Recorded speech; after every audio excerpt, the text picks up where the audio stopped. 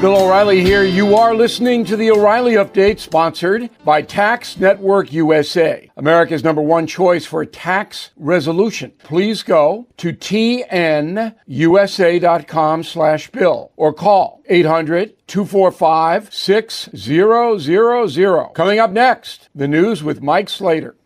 Thank you, Bill. It's Friday, September 27th, 2024. Here's what's happening today in America. Hurricane Helene, deplorable double down. Ice, Boston, and Worth, the broken leg. That's all coming up. And Bill's going to be here with your message of the day. But first, Hurricane Helene, a Category 4 storm, will threaten well built framed homes with severe damage, potentially losing both roof and walls. Most trees are snapped or uprooted, and power poles are downed. The Hurricane Center says that power outages will last weeks, possibly months. Most of the area will be uninhabitable for weeks or months. What? Ron DeSantis says that there are 18,000 linemen staged, ready to move in once the storm passes to restore power. The Florida National Guard has 3,500 soldiers and airmen ready. The Florida State Guard has 10 shallow water vessel boat teams, seven flat bottomed flood rescue skiffs, two amphibious rescue vehicles, 12 UTVs, 15 cut and toss crews, seven search and rescue teams, 2,100 Florida Department of Transportation personnel working for storm response, 858 generators for traffic signal power. Florida's as ready as they can be. Remember in 2016, Hillary called half of Trump supporters deplorables? The even worse part was irredeemable. Well, she doubled down. She said, I was talking about the people who were drawn to his racism, sexism, homophobia, xenophobia, Islamophobia, you name it. And just look at everything that's happened in the years since, from Charlottesville to January 6th. The masks have come off. And if anything, deplorable is too kind of a word for the hate and violent extremism we've seen from some Trump supporters. ICE Boston announced another arrest, this time of an El Salvadorian MS 13 gang member who snuck in to the U.S. as a getaway. This is the same operation that took down two Salvadorian child rapists and two other illegal aliens charged with sex crimes. All of these child rapes were on the island of Nantucket, and still not a peep from the people of Nantucket. A 79 year old woman went on a hike in Ashford, Washington by herself, 3.2 mile trail. She's done it many times. But at the top, she broke her leg. Fortunately for her, two young men were there to come to her rescue. Troy May, 20 years old, he's an airman at the nearby Air Force Base. He said, I knew I was capable of carrying her down. I really didn't make much of a decision. I just knew I needed to carry her down if I could. The woman said, I was just overwhelmed with gratitude that these people literally came out of the woods to help me, and they were totally unselfish and kind. I thought these people were behaving like angels coming from the sky. I'm Mike Slater from the podcast Politics by Faith. Bill O'Reilly has your message of the day. Next. Did you know every day is a perfect day for peace of mind? With American Home Shield Warranty, you are covered for unexpected breakdowns like leaky faucets or faulty water heaters. Choose a plan that fits your budget and rest easy knowing repairs and replacements are taken care of. Simply contact American Home Shield when an issue arises, and their trusted pros will handle it according to your coverage. Don't let worries about appliances and home systems weigh you down. Celebrate the reassurance of protection. Don't worry, be warranty. For 20% off plans, visit ahs.com slash bill.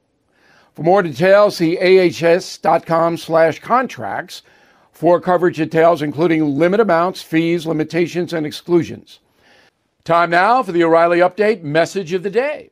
On this Friday, I hope you did not watch the PBS program Frontline on Tuesday because it was a fraud. And it's a fraud that we, the people, the taxpayers, are funding to the tune of 550 million dollars a year to the public broadcasting company. The program was assessing both political candidates for president, Trump and Harris. The problem was that Frontline brought in 15 people to disparage Trump. No one on the entire hour disparaged the vice president.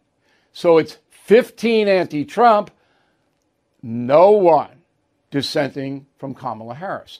So let me ask you Does that seem fair? It's portrayed as a news documentary.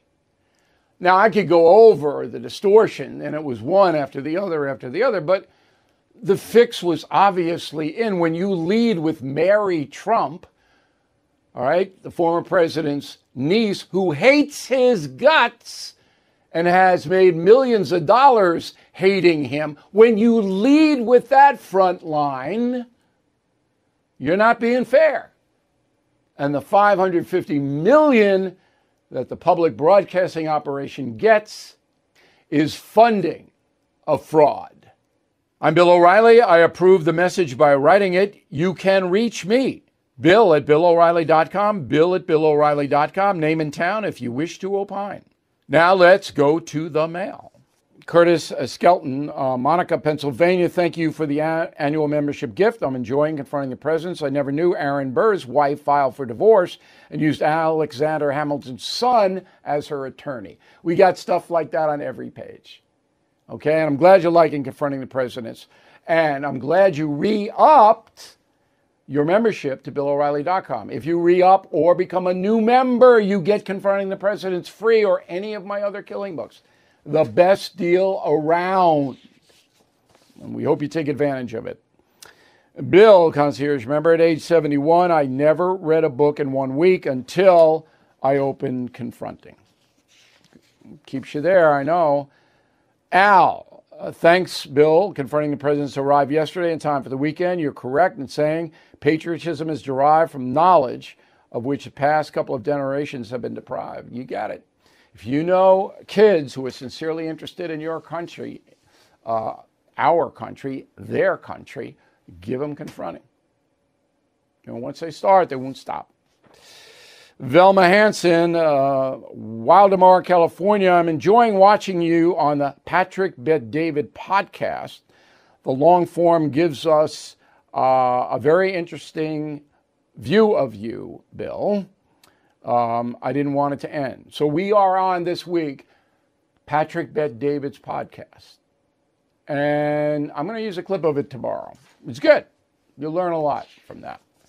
Uh, Clyde in Bulgaria. Wow, Clyde. One of your best columns. I've copied it and sent it to all my British friends. Good. The column uh, is about uh, bad hombres in the White House. It's on BillO'Reilly.com, the Sunday column. In a moment, something you might not know. Are you feeling the impact of recent timeshare industry changes? Now more than ever, the costs of timeshare ownership far outweigh the benefits. My friends at Lone Star Transfer are the only company I trust to help you get out. Our listeners' positive feedback demonstrates why I've supported the company for years. For more than a decade, they have helped over 20,000 owners get out of the timeshare. Their exclusive options can help you get out faster and easier, more than any other option in the country. They are the only company that will give you a written guarantee and release you from your timeshare in a specific time frame.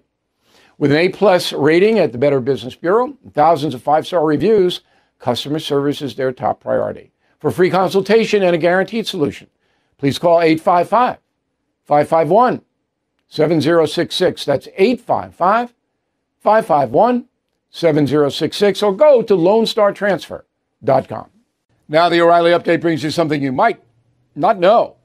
2024 election will go down as the most expensive presidential contest ever. Back in 1980, the campaigns of Jimmy Carter and Ronald Reagan raised a combined total of $300 million. This year, Trump and Harris will top $1 billion in political donations. Here's where the money comes from. Federal law allows individuals to give $3,300 per candidate for a primary, another 3,300 for the general election. So it caps at $6,600 per person to donate to an election cycle. However, there is no limit to the amount of money a person can give to political action committees. They are called super PACs. These groups support individual politicians but have no formal connection with the campaign, or so they say. As of this broadcast, the Democrats have raised $500 million for Vice President Harris. Republicans 350 million for Donald Trump. Big donors for Kamala include George Soros, Mark Zuckerberg, various Hollywood moguls, wealthy Trump supporters, casino magnate Sheldon Adelson, billionaire investor Robert Mercer. Most of their cash is spent on advertising in the battleground states. The problem with all this is the politicians are beholden to the people that gives them money. For example, they can appoint folks ambassadors, which is, if it's a good country, a pretty plush job. We got Caroline Kennedy down in Australia now. Previously, she was an ambassador to Japan. And in business, if you are well favored by the White House, you have an enormous advantage for government contracts or for favorable treatment. So, all of this money can lead to corruption. Now, I'm not pointing any fingers right now, but I'm watching this because in the past, big presidential donors have gotten that quid pro quo, Latin for this for that. Back after this. Hey, Bill O'Reilly here. America is at a breaking point record inflation, interest rates, debt. The last thing we need is more reckless government spending and higher taxes, and they could happen. Plus, a hit to your retirement savings. So protect your savings with American Hartford Gold. They'll help you secure your retirement by diversifying with physical gold and silver. Start with a simple phone call They'll guide you through the process, even deliver gold and silver right to your door, or place it directly in your IRA or 401k. Don't wait. Call or text American Hartford Gold today. Tell them O'Reilly sent you to get up to $15,000 of free silver on qualifying orders. Call 877 444 GOLD 877 444 GOLD Gold or text Gold to 65532. Again, that's 877 444 Gold or text Gold to 65532. Thank you for listening to the O'Reilly Update. I am Bill O'Reilly. No spin, just facts, and always looking out for you.